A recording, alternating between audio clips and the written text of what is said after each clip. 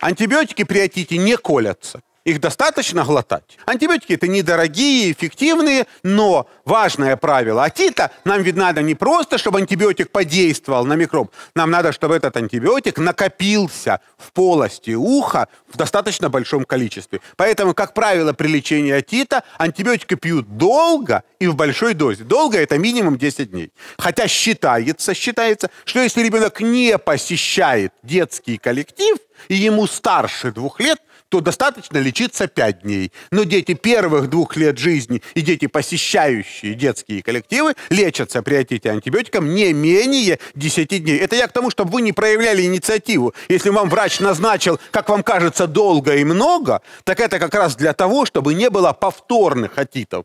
Мало пролечили, малая доза обязательно повторится. Дорогие друзья, спасибо, что вы с нами и будьте всегда в курсе последних наших новостей. Подписывайтесь на наш канал в YouTube.